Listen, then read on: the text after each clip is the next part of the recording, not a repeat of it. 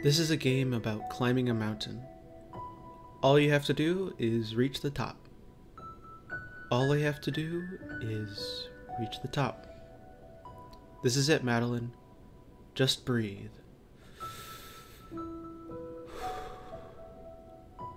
You can do this.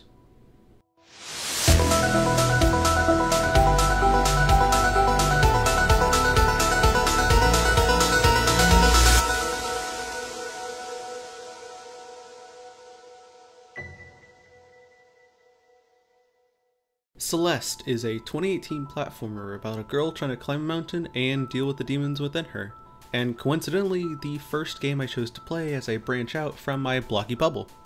It combines a beautiful mix of 8-bit graphics, a musical symphony, and a heartfelt story lying to be discovered within the cold, frozen peaks of the mountain.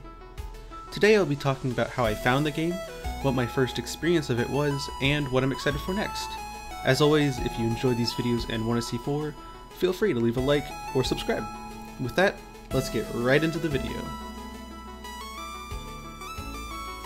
The exact origins of when I discovered Celeste are hard to find, but the earliest I could date it back to was 2020.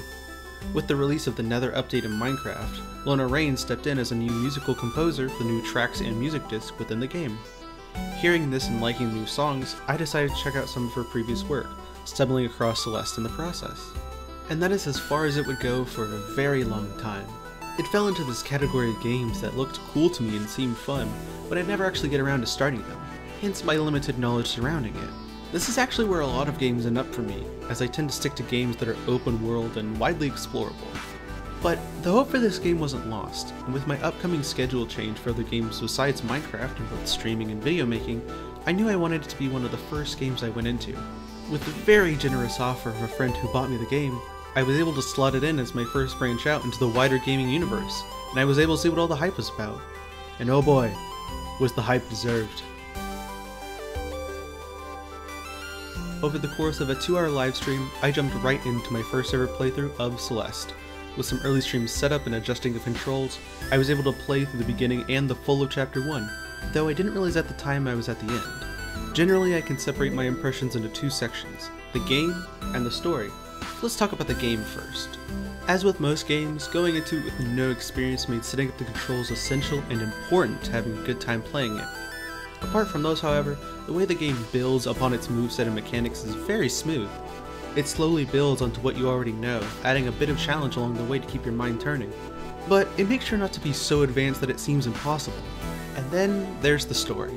We learn as chapter 1 goes on that the character we play as, Madeline, has become determined to climb this mountain no matter what.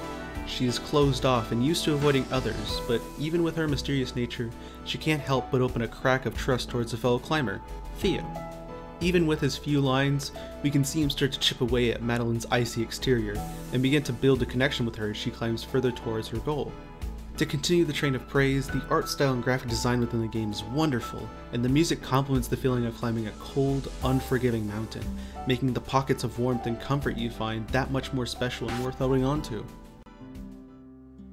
Some of my favorite moments are when the game acknowledges something has changed, moments where the music quiets down, the level is given way to a gentle break in your climb, and you look around at the scene in front of you. The two best examples of this are the first meeting place of Theo and the end of chapter 1 around the gravesite, commemorating the lives of those who never finished the climb. These moments show me that even if they're not important to our original quest to climb the mountain and leave, they may be foreshadowing changes within us as we learn more about ourselves and letting people into that bubble.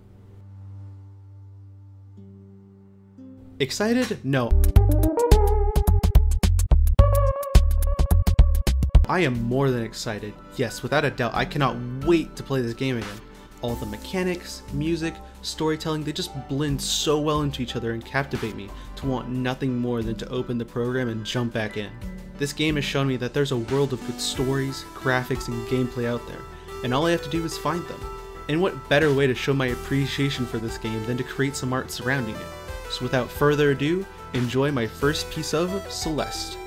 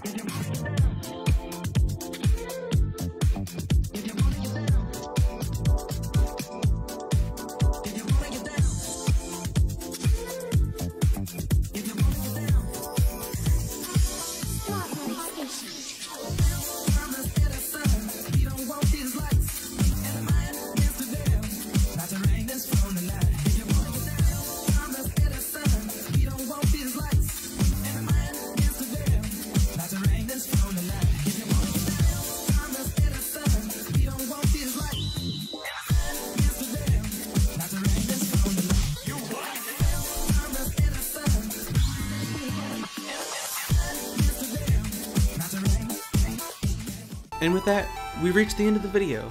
This video had to be written about five times due to some circumstances.